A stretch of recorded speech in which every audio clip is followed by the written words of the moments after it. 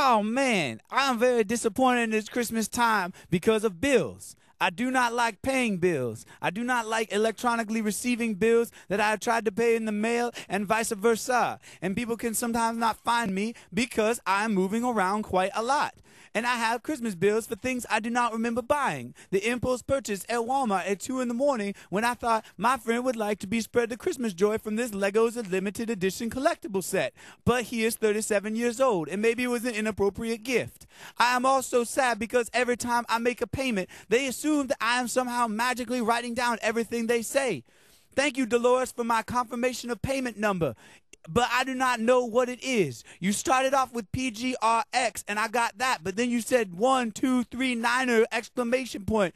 Ah, I am so mad, I am melting. Stop trying to give me confirmation numbers of things I cannot write down. It is difficult to be an adult. I do not like having to pay bills and take care of myself. I need an accountant. Ah!